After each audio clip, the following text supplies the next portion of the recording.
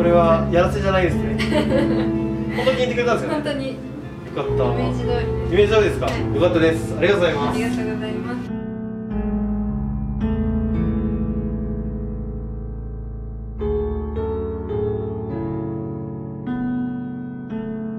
あれあれ自分でやって。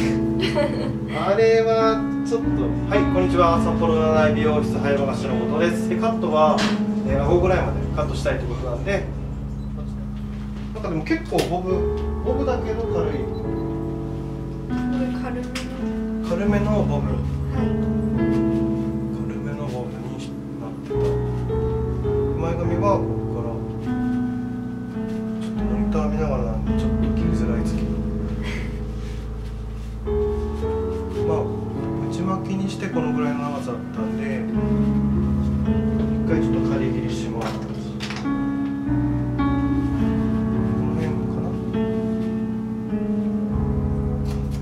前下がりになってるんでそこをちょっと切っちゃいます。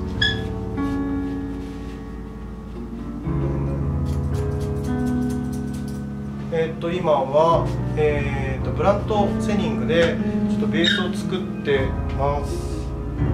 このくらいなのかなっていう目安を作るのにちょっとブラントセニングでカットします。まあ一回ボブのライン作って希望のスタイルはちょっとボブの軽いやつですね。結構でもあれ巻いてましたよねがっちり。巻いて顎下でしたよね。意外と長いと思うんですよね実際。はい。顎ぐらい。バックは短かった。いやでも外と長いかも。ちょっと一回やってみます。でもなんか短くしすぎちゃうとちょっとあれってなっちゃうから。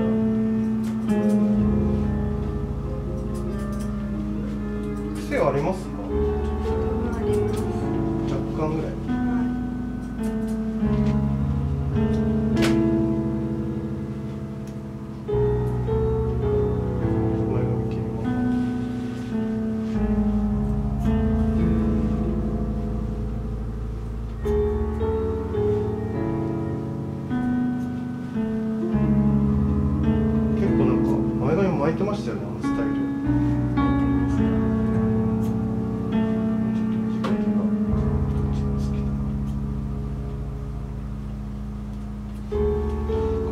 は今ショーバルタンでカットして、えーショーバルタンの、えー、とこっち側で切って外側は逃がす方ですね。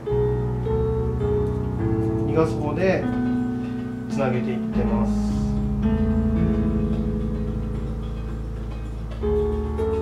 なんでこうですね。流れていくのが。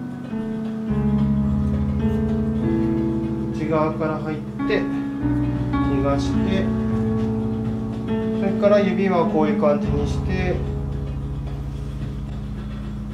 あとここからですね。ショーバルタンの内側から入ってちょっとイングラ気味にカットしてるんですけど指を挟んで、えーあんまりがっちり切れないようにわざとしてます。柔らかい感じにしてで今度は反対の逃げる方にハサミ持ち替えて癖を生かして切ります。この辺いい癖してるんでこれは使った方がいいですね。ちょっと表面だけ一旦入れます。水平に引き出してイングラに一旦入れます。ちょっと水平のラインで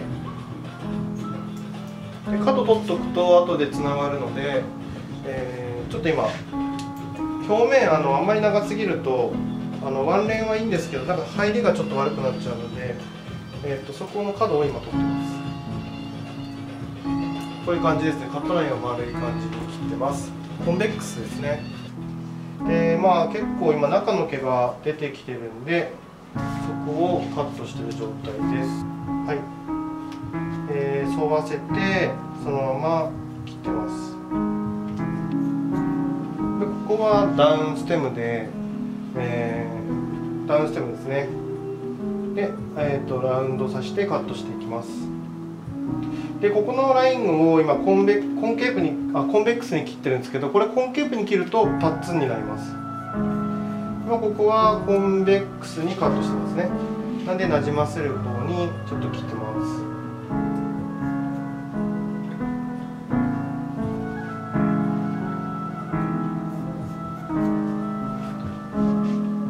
先ほどちょっと中先ほど切ったところをガイドに、えー表面のところにつないでいってます。で丸いコンベックスの、えーイングラのボブのラインボブラインがちょっとこれで作ることができます。まあ今ちょっとねあのー肩に当たってるんでどうしてもタオルがあるんで跳ねてますけど、まあ、こういうこのようなカットラインがちょっとできるんですね。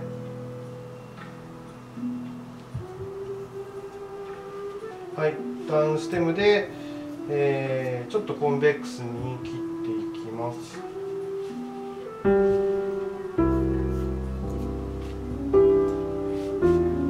コンベックスにカットします。はい、で切り口はこういう感じで見えてますでしょうか。まあ今跳ねてますけど、あの一回濡らすと大丈夫です。でここも、えーコンベックスこれ出てるのがあると思うんで、えーここもコンベックスでカットしていって、はい、なのでパッツンのカッボブのカットと、えー違いっていうのはコンベックスかコンケープかだけです。それ以外の違いは特に僕はないですね。その違いだけであのハサミのショーバルタンの入れる向きを変えてるだけでパッツンにするか、えー内巻きにするかでまず今日はあの結構軽めのボブのスタイルだったんでモデルさんが希望してるのはとりあえず一度あのボブのライン作ってから崩していこうと思います。あとちょっとこういう場合はもうイメージ作っていかないとわからないので一回ブローして、えーちょっとかなり任さってたスタイルだったんで希望のスタイルがちょっとブローしないとイメージがつかまないんでちょっと軽くだけブローしていきたいと思います、えー、とペンシルシザーでちょっとそぎを最初に入れてそぎ入れたらちょっと一回ブローしたいと思うんですけど、えー、とペンシルシザーですね。これで、えー切ると柔らかく切れるんでペンシルでちょっとそぎを入れていきます。自分が曲げたい位置をちょっと想定してそっと、えースクラッチカットで取っていきます、えー自分がカーブ入れたいところに、えースクラッチを入れていきながら空間を作っていきますね。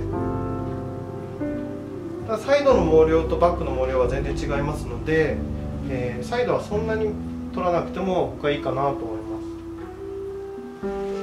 す。はい。そぎはなどこから曲げたいかとかそういう、えー場所によって本当に変わるのでそぎの入れるポイントっていうのをただ適当じゃなくて、えーここから曲げたいんだなっていう部分をイメージしながらカットしていきますね。束取るときは人差し指でこのように引っ掛けて、えー取っていくような感じです。分けて、えー中の毛を取って入れるっていうような感じですね。ここで、えー、ハの字に分けて指で引っ掛けて取っていくっていうような感じで、まあ、鱗状の感じにちょっと入れていきます。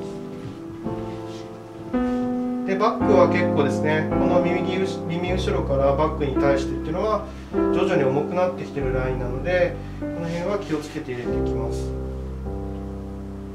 であんまりこのステムが高くなりすぎるとあのちょっと良くないのでステムはそんなに高くしないでください。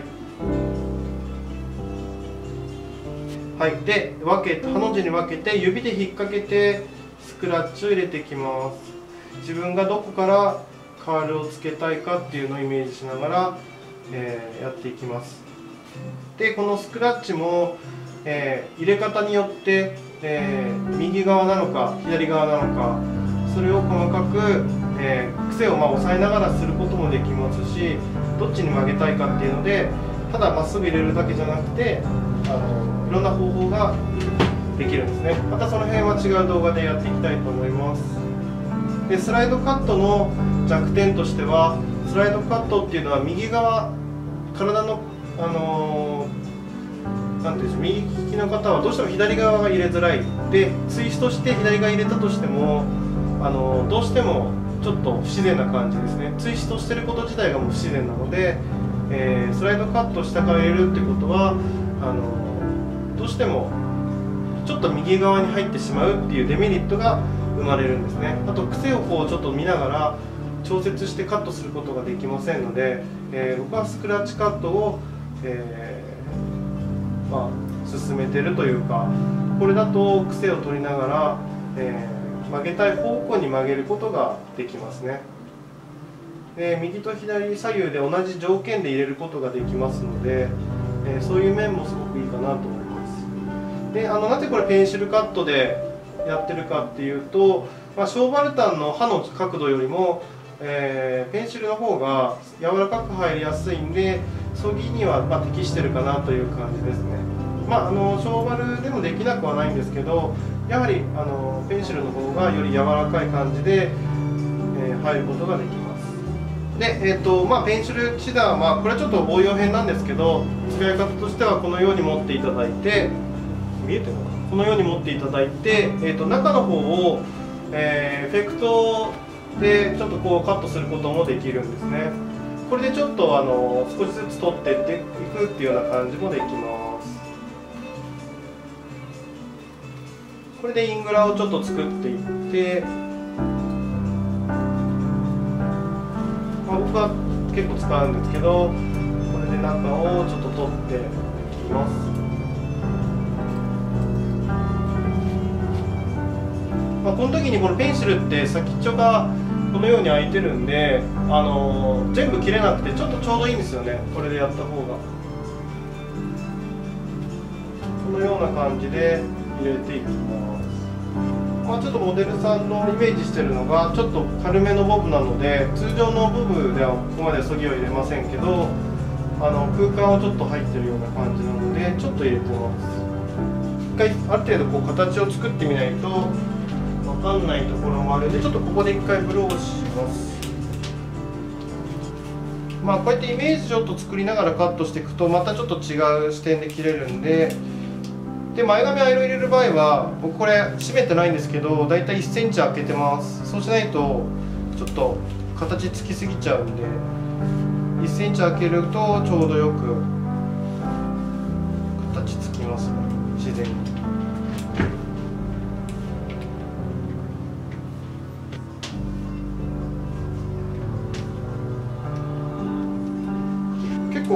れるんだっけ？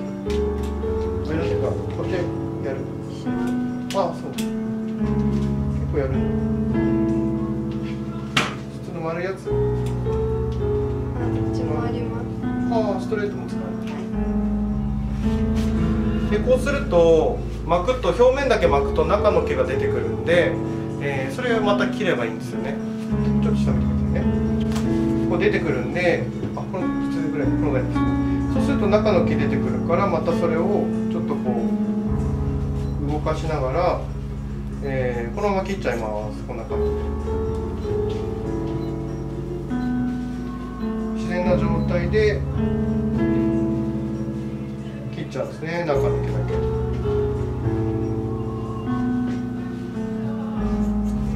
巻くとちょっとまた普通に切るのと違う、えー感覚で切れるんで結構いいんですよね。巻いて動かして出てるところを切ると。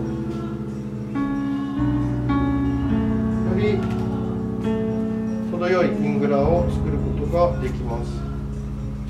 でえちょっと長い感じがするんでちょっと切ろうと思うんですけどイメージのやつよりもちょっと長いサイドが長そうな気がするんで、えーまあそのまま引っ張ってもうそのまま切っちゃいます。ここをコンケープあコンベックス。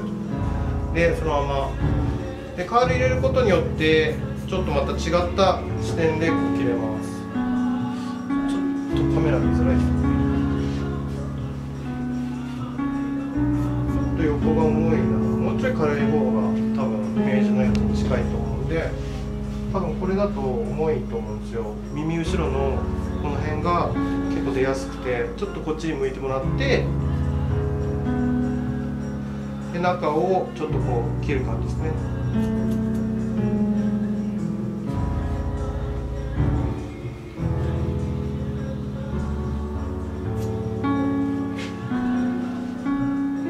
構この辺で出るとかっこ悪いんで重さになっちゃう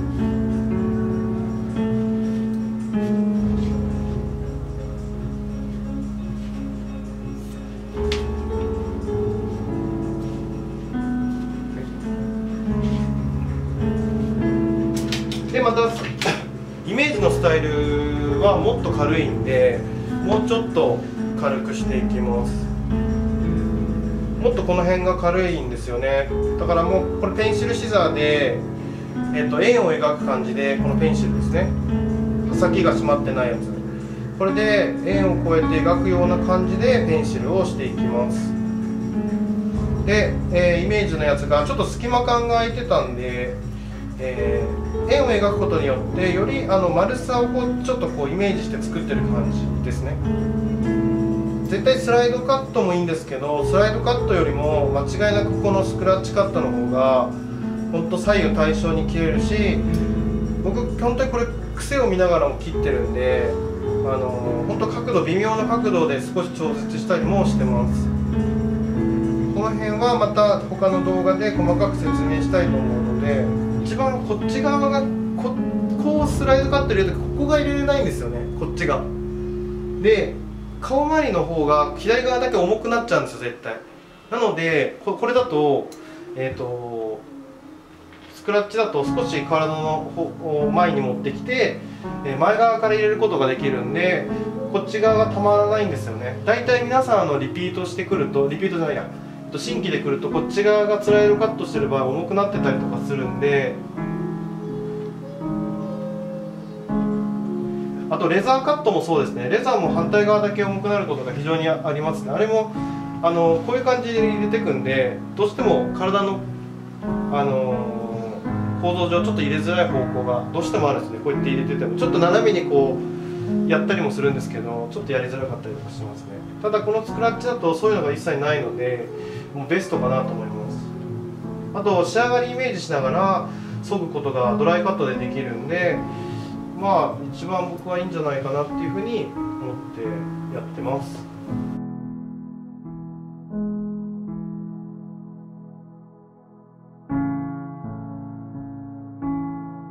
で今回はちょっとスタイル的にちょっとそぎは多いんですけど耳上のあたりが結構あの軽さがあるスタイルだったんでモデルさんのイメージしてたやつが。ちょっと耳のところは、えーちょっと思いっきり軽めについてます。かなり奥までそぎを入れてるんですけれどもあのイメージがちょっとそういう感じだったのでちょっとそぎは若干軽めですね。この耳のところはあのイヤートゥイヤーあたりのところはちょっと奥まで入れてます。で、えっとこれは深さもちゃんとイメージできてどこまで入れるかとかで全然変わってきますんで。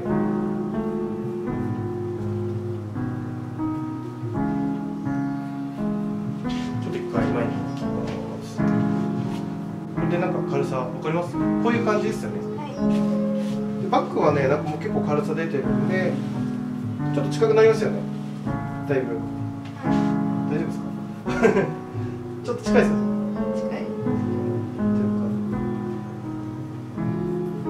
れでもあの巻き方はちょっとあの異常な巻き方なので あれあれ自分でやって あれはちょっとあれやって切っちゃうとちょっとわけわかんなくなっちゃうんでこのぐらいで切ります。少し食べてくださいね。でえっ、とこれそぎの、えー入れるえっ、とペンシルシザーの入れる奥行きなんですけどどういうふうに入れていけばいいかっていうと、えー簡単ですねこれシークレットのワックスをつけます。シークレットのワックスに、えー、とこのヘナジェルワンプッシュですね。僕使うのはヘナジェルをワンプッシュ入れます。ここにはい。スタイリング剤として。で、えーこれを全体につけます。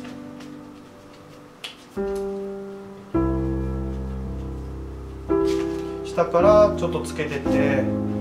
最初につけたところ結構一番ついちゃうんで前髪の方はあんまりつけないようにしていきます。前髪最後触るぐらいですね。レグ当てます。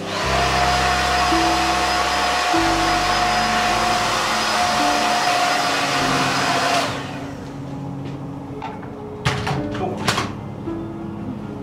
どどう？ですかねこう？こう？いう？感じじゃなかったですかはいです。すごいいい感大丈夫ですか？じはい。そうですね。こういう感じになってます。だいぶあのこの辺の軽さでいい感じになったんじゃないかなと思うんですけど。はい。ごめん時間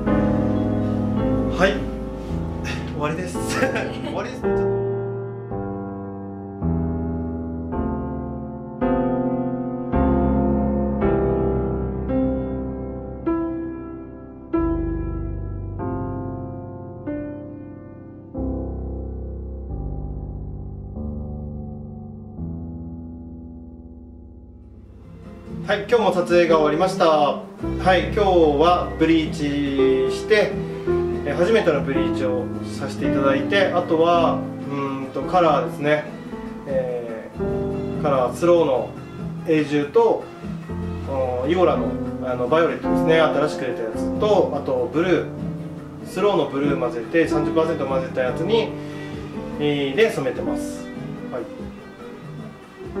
で、えー結構僕は今回はちょっと柔らかめじゃないや、えっと、エアリー感がある感じにしたので結構そぎはたくさん今回は入れてます。モデルさんの希望でそうしております。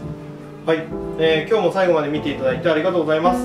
またえっ、となんかうんこういうのやってほしいよとかいろんな企画など、えーいろいろこう意見がありましたらコメント欄の方に書いていただきたいなと思います。あとチャンネル登録していただけるとありがたいと思います、えーまだこれから頑張りますので皆さん見てください。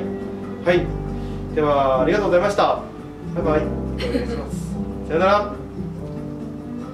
ちょっと追加の動画なんですけどモデルさんめっちゃ気に入ってくれたので髪型。ですよね。はい。これはやらせじゃないですね。